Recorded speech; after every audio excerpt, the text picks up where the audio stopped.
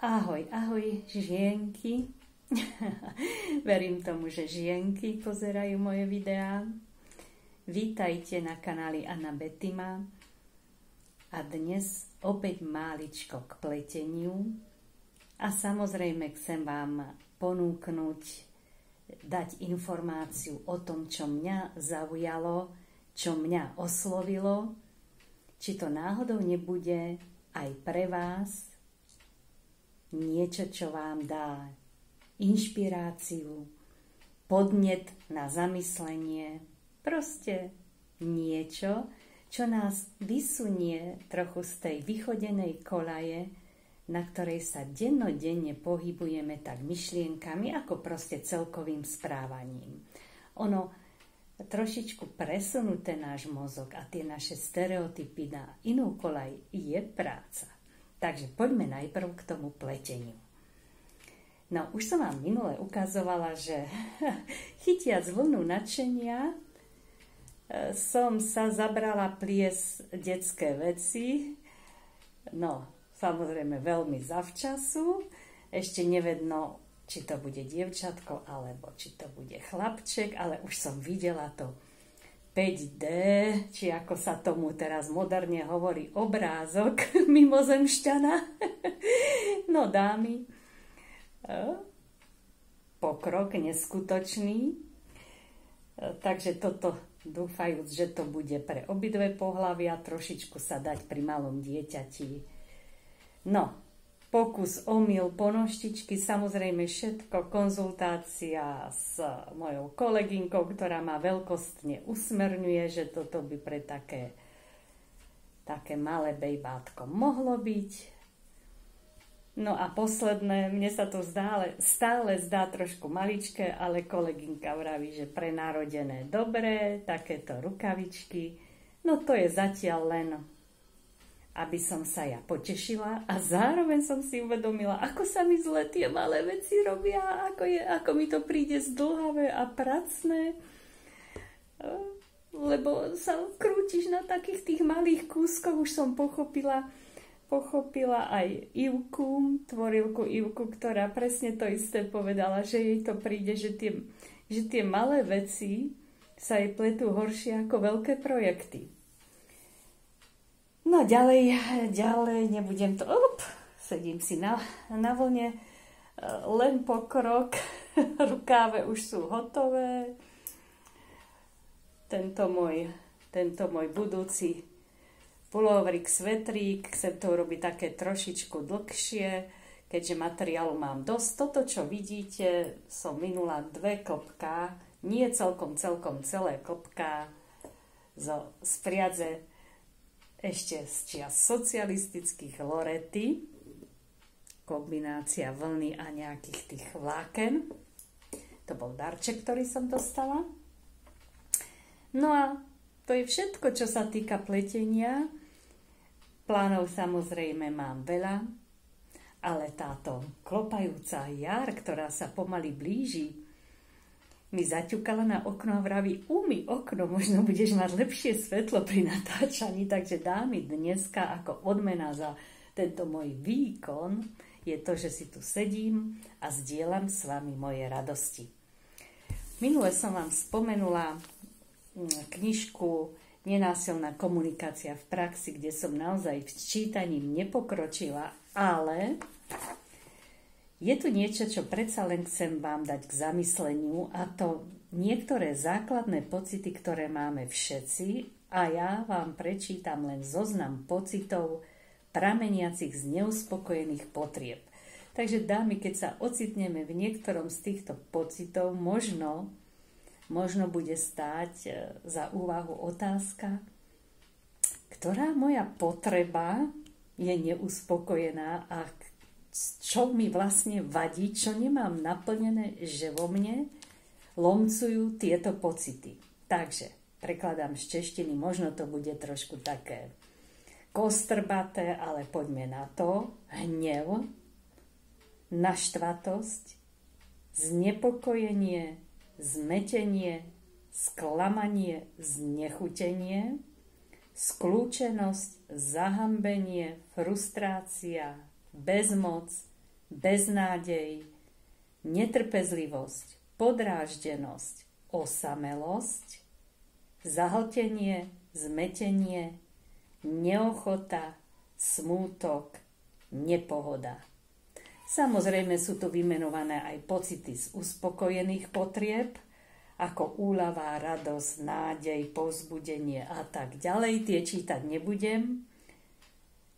Len mi to tak prišlo, že to má svoju logiku, lebo keď eh, je človek v nejakej tej netrpezlivosti alebo podráždenosti, obvykle je za tým naozaj niečo, že niekto mu nevyhovel alebo niečo sa nám nepodarilo, nejaká naša potreba nebola uspokojená. Takže možno, možno namiesto toho, aby sme hľadali vyníka, kto nám toto spôsobil, zamyslieť sa, up, up, up, čo tam mám neuspokojené. Takže toľko to minimum k nenásilnej komunikácii v praxi, snáď časom pribudne viac. Ďalšia vec, ktorú ešte chcem pripomenúť, sú videá od pani Cindy Katajama, kde tentokrát dávala, že si môžeme pomáhať, no tentokrát, už som vám to možno aj spomínala niekoľko dní dozadu, dávala, že si môžeme ráno pomáhať aj tým, že si vlastne len preťukáme veci, ktoré sa nám ráno udejú po zobudení, lebo niekedy máme ráno príjemné, zobudíme sa, niekedy sa zobudíme prvých pár sekúnd, prvá pol minútka, fajn minútka a potom odrazu sa naše pocity v tele zmenia. Takže uh, pokiaľ je to fyzický pocit, si môžeme ťukať napríklad, povedzme, že mi zovrelo žalúdok, nestihla som ani zachytiť čo a prečo, ale deje sa to. Takže vrch hlavy, mm, zovretý žalúdok ráno, keď sa zobudím, zovretie žalúdka ráno po zobudení, zovretie žalúdka ráno po zobudení, zovretie žalúdka ráno po zobudení, zovretie žalúdka ráno po zobudení, zovretý žalúdok ráno po zobudení, zvieranie žalúdka ráno po zobudení, zvieranie žalúdka ráno po zobudení, zvieranie žalúdka ráno po zobudení. Púšťam to, to ja si tam dávam taký svoj dovetok. Viac samozrejme nájdete v originálnom videu od pani Cindy, pokiaľ vás to zaujíma, ale v podstate myslím si, že je to super spôsob, ako si trošičku za jedno venovať pozornosť a za druhé nejakým spôsobom pomôcť tomu telu uľaviť z toho, že niekde nejaká naša myšlienka spôsobila emóciu a tá emócia sa prejavila nejakým fyzickým podnetom v našom tele. No a ešte, ešte som si nie prvýkrát, ale predsa len uvedomila, že aj sny, keď sa vám niečo snívalo, no samozrejme príjemné nepotrebujeme, ale pokiaľ ste mali nejaký zlý sen, naše telo nerozlíši, či je to sen alebo skutočnosť, môžete si všetky tie veci z toho sna to jedno okienko z filmu vášho života, ten jeden kúsok, ten sen spracovať, e, vyťukať si, čo ste v ňom cítili, čo to vo vás zanechalo, e, bušenie srdca, e, že na mňa, ja neviem, niekto tam útočil nejaké zviera, alebo čo. Proste sny môžu byť niekedy naozaj zaujímavé.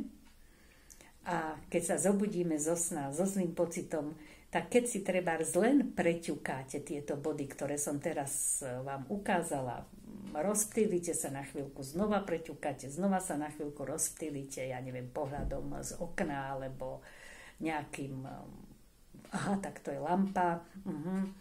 no toto je vankúš a zase naspäť do tela, čo ešte vo mne doznieva z toho sna, ešte stále mám nejaký pocit, ak áno, tak si len proste ťukám tak to sú také veci, ktoré keď vám ich takto rozprávam, sa môžu stať, že od veci a bláznivé, ale je to energetická psychológia a je v podstate vždycky na človeku, či sa rozhodne niečo použiť, alebo nie.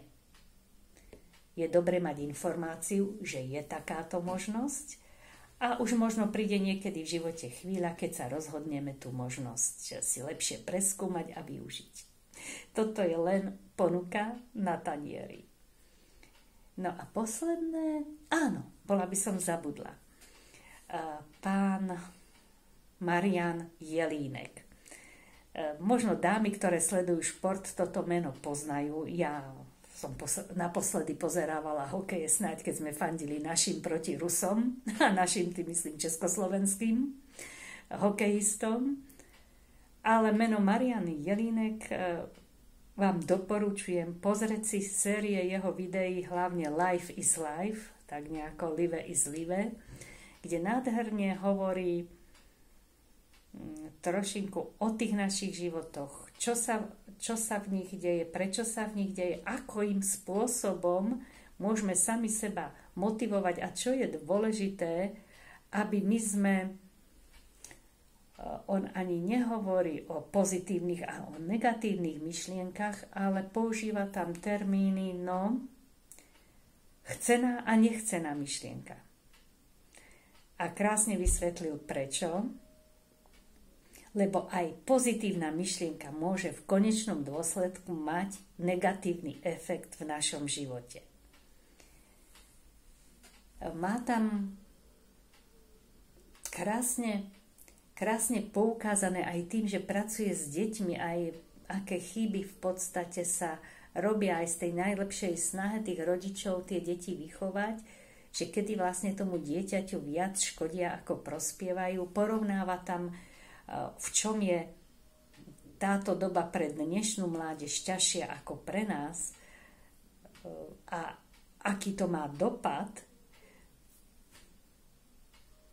celkovo, celkovo hoci tam používa príklady aj zo športového života, aj z normálneho, reálneho života, myslím si, že raz si vypočuť jeho video je málo, lebo je v ňom toľko múdra, a skúsenosti zrelého, zrelého človeka, ktorý vie, že s našimi myšlienkami sa dá pracovať, že myšlienky, ktoré si necháme rozbujnieť, naše životy môžu zlepšovať alebo naopak zhoršovať. Celá tá séria videí a všetky rozhovory, keď som si raz za čas vypočula jeho rozhovory, vždycky som si odniesla pocit, že by som chcela mať zlomok jeho múdrosti a hlavne nestačí vedieť, že by som veľmi chcela, aby som dokázala uplatniť v praxi e, veci, ktoré nám odovzdáva naozaj cený obsah vo videách za ďakujem. Možno za jeden like, možno za jeden komentár aj to sme niekedy leniví urobiť a poďakovať človeku za prácu, ktorú nám dáva a nezištne dáva. No môj obdiv a premostujem niečomu úplne inému, keď som hovorila o práci, ktorú nám niekto dáva a nezištne dáva, moje veľké ďakujem pani Katke zo školy ručných prác už vydala návod k polovríku, čas návodu, bude zrejme tých častí viac, 4 alebo koľko strán. Som to tam pozerala na jej stránke, aj video k tomu, ako si môžeme spolu s ňou podľa jej návodu urobiť polovrík e, raglánovi z hora. Zatiaľ som vždycky prietla všetky moje diela, či vestičky, ktoré ste videli, či modrý pulovrík z Flóry a Moheru, alebo toto e, som plietla tak pokus omyl. Ešte som sa nedobrala pliesť podľa návodu, ale myslím, že z vďačnosti za Katkinu prácu pre nás sa dám, mám aj flóru, určite nejaký moher není problém dokúpiť, alebo mám alpaku, mám ponožkovú priazu, z ktorej sa to tiež dá urobiť tak e, aby som si trošku oddychla, lebo nerada robím niečo, keď neviem, či to vôbec bude, či to vôbec bude dobrá veľkosť. No čo ja viem, taká, takáto, takáto veľkosť. Jej daj nenky, aj, aj, aj tá ponoštička, no ako... Joj. Mám, mám taký pocit, e, samozrejme, že moje ponožky som prietla dlhšie, logika, logika veci káže, že nemôžeš urobiť e, tam 38, 39 ponožku takisto dlho ako túto malú, ale tým, že stále taký ten, tá neistota, že aké to má vlastne urobiť veľké, tak som povedala, no nič, počkáš, počkáš, keď sa malé narodí, samozrejme tá mamička bude mať milión vecí, nečaká akurát na moje ponožtičky, ale pre svoju radosť som to urobila a potom už keď budeme vidieť, či to bude, či to bude drobúlik alebo to bude malý valibuk, tak už potom bude možno aj väčšia radosť to robiť, keď vieš, akú asi veľkosť bude treba.